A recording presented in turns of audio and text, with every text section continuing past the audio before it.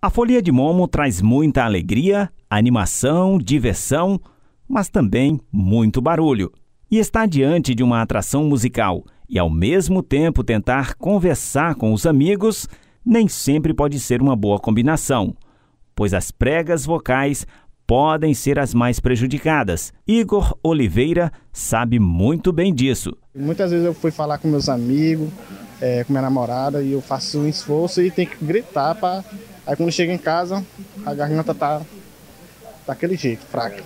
A fonoaudióloga orienta como devemos nos comunicar diante de um som muito alto. Então o ideal é o quê? Leitura labial, realmente, tá? Às vezes quando você tá ali numa farra, no meio de um som bem alto e de repente o som desliga e você tá gritando porque você vai aumentar a intensidade com o intuito do seu colega ouvir, mas aí você vai estar tá gerando um dano à sua prega vocal desnecessário. Então, o ideal é leitura labial. Neste período de prévias carnavalescas e durante os dias de folia, hidratação é algo que deve acontecer sempre entre uma bebida e outra. Então, o ideal é que, mesmo tomando cerveja, que faça uma boa ingestão hídrica de água de coco, de água, de sucos. Ela lembra que o período chuvoso também é um fator importante, que associado às doenças infecto-contagiosas também afetam o organismo. Esse período agora de chuva, né?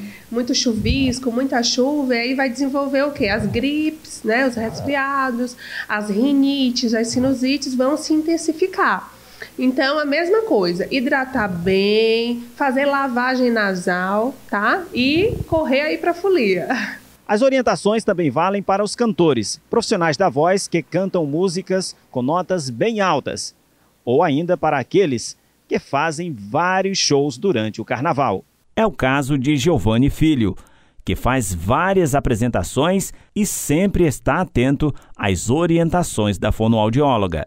E aqueles que pensam e que digam que tomar uma, uma, cerveja ou um uísque, essas coisas, quero dizer que minha amiga fonoaudióloga disse que isso tudo é mentira. Não melhora. não melhora coisa nenhuma, e nem aquece nem nada. O ideal é que os cantores eles é, estivessem em acompanhamento fonoaudiológico, principalmente nessa época do carnaval. Então, o ideal é uma boa hidratação, tanto uma hidratação de água, de suco, os Gatorades, e tá fazendo aquecimento, desaquecimento, uma inalação com soro fisiológico. Tem várias dicas que a gente pode, quando o cantor está em acompanhamento fonoaudiológico, que nós vamos fazer para que ele possa ter um melhor desempenho durante o carnaval.